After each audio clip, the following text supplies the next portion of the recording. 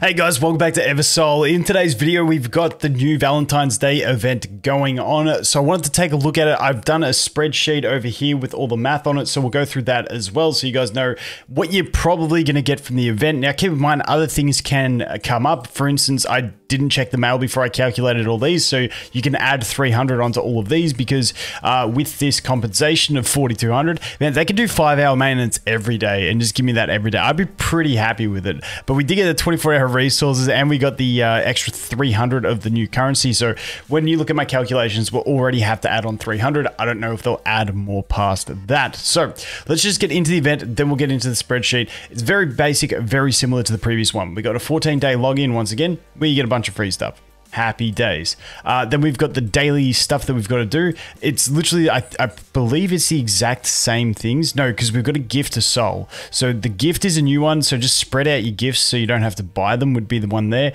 Uh, send hearts, talk with souls, receive hearts. You know, just basic, basic stuff. The only thing that you'll probably have to add in uh, is I always never used to go on outings because I, I don't do that stuff, but that one, and also gifting the souls. That's going to be the one extra thing that you have to do in this one. And we do get a free copy of both of the the you know themed characters through this one, Rebecca and Jacqueline. So not too bad on that one. I'm really liking liking this theme of events where you get free copies of characters. I'm all for it. So that is that one.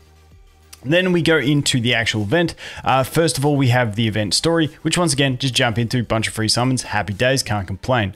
Then we go into the uh, the the event stages. Now, the event stages, there is seven of them. You get three challenges per day. Each stage has, if you look where right where my head is, uh, each stage has uh, an initial clear reward, which you get one time, and then a clear reward for repeat clears. And that's where you're going to get the currencies.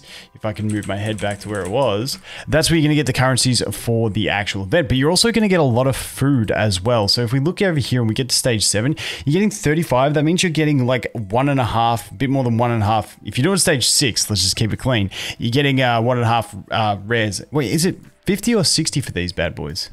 Click 60. Yeah, it's 60. Um, so yeah, you're getting one and a half per day extra rare fodder. So that's not too bad. I do like that. Um, so that's what we're looking at from the event. Like I said, you do have to clear each stage once. So I've only just cleared the first stage. You clear the second one, clear the third one, easy. And then you really want to push this as far as you can because as you can see, each stage you clear, each run, you're going to get 10 extra each stage uh, of the, uh, the love potion, is it? Yeah, the love potion. So, you know, makes a big difference if you can push up higher and you'll see that on the spreadsheet when we look at it in a sec. So definitely push the limits. Now when I did my one attack let's just jump in here and do my second attack so we can see. I thought you were going to have to use separate teams for each one. Uh, I didn't hit the info button so you know what I mean uh, seven levels. Each level is divided into two stages. Each have their own special buffs. The buffs change every day. Okay, so the buffs change every day. Uh, that's cool. You can reset your combat records while challenging a stage. If you do, your previous records will disappear. Uh, you can get rewards. So like I said, when I did the first level, I don't know if it's a bug because I thought this was meant to be like the the jewel gate, not the jewel gate, whatever that thing is that we do every day. Um, I thought it was a bit where you can only use one team each time, but it allowed me to take the same team into both of them, which is quite handy. Should make pushing the higher stages a lot easier, unless that's a bug and they fix it. Have to wait and see, but. Definitely cool that you can take the same team in, at least for now, uh, and I hope they leave it like that. Then pushing a bit of a higher deficit becomes more viable. I might even be able to clear stage 6, maybe stage 7, depending on the buffs. Probably stage 7 because the buffs are quite decent. Not too sure. We'll have to wait and see how we go, but I won't know uh, if I can do stage 7 at least for another two days because you've only got 3 and then 6. So that is what we're looking at for the event. Okay, so here is the spreadsheet. I'll do my best to explain it as well as I can. Hopefully all my math is correct or near correct. Uh, I do apologize if I got anything wrong. If I did, I'll leave a pinned comment and let you guys know. Um, but basically what we're looking at over here is each stage doing with the farming stage one, two, three, four, five, six, seven. Uh, we've got the love potions per run. Uh, and then we've got the you're doing three per day, so it's just that multiplied by three. And then this is based off 20 days, just the total of that. Now that's your like raw total if you could just farm those, but the step up totals is taking into account the fact that say if you want to farm seven from the start, you've also got to do one run of stage one, two, three, four, five, six, seven before you get to seven, and then you continue farming it. Now I do get that some people may go one, two, three, four, five, and then farm five for three days, and then go on to six, and then farm six. But I can't account for everyone's progression, so just keep in mind these are like fixed numbers. Uh, if that's all you farm the whole time. Uh, so the only people that this really applies to exactly is going to be the people who farm seven off the bat, uh, and that's going to be the totals that they can achieve. Now when we take a look at this, uh, like I said, that's the step ups. And then this is the missions included, the totals you will actually get. Now, I've included for 20 days as well as 21 days,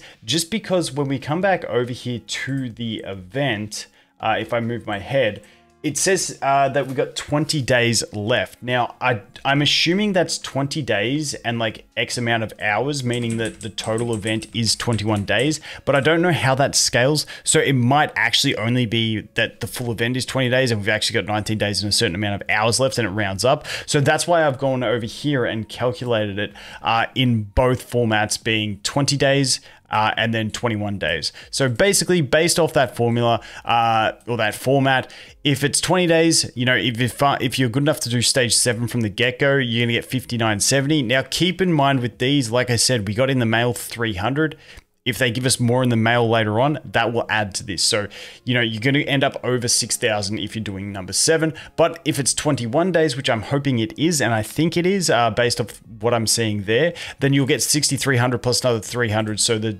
stage seveners will get 6,600 uh, per day. So, I mean, if you've been playing since launch, I'd say seven is going to be achievable. I feel like I'll probably get it. I started a week after. Um, but you know, even if you're only doing six plus the extra 300, you're going to get there. So it's not too bad. Um, so that is where we're at for the calculation. So 6,000, uh, you know, a realistic target when you consider that in the mail um, and stuff like that. So let's go jump back over to the game and take a look at what 6,000 does actually buy us. So I went to the wrong thing.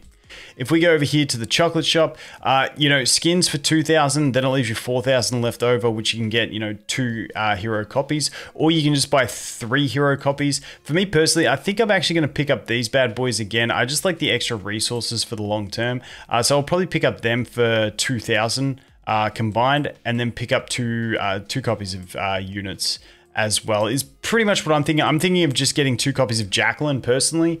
Um, that's what I'm leaning towards, but I'll think about it over time, uh, over the event, and get back to you guys if there's anything like mind blowing that I do discover.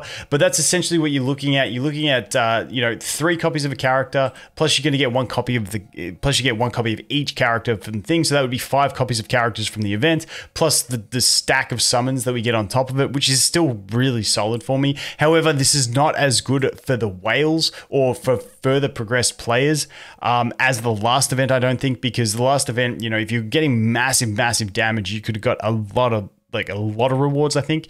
Um, but you know, it's still pretty decent. I'm pretty happy with it. I got no complaints, uh, although I know some will. It is what it is. I think it's pretty solid. Six thousand. Um, you know, I, I get my my four little buildings and then two copies of a hero. I'm pretty set. This is like an event that's giving me extra AFK loot and three copies of Jacqueline and a copy of Rebecca. I'm pretty cool with that. But let me know what you guys think. Uh, like I said, if my math is wrong, let me know uh, and I'll adjust it and I'll put it in the pinned comment. I do apologize if anything is wrong was there, but I'm pretty sure I double checked it because I did have an error once uh, and I'm pretty sure that's right. So that is going to be for this one, guys. Thanks for watching. Hope you have an awesome day and I look forward to seeing the next one. Cheers.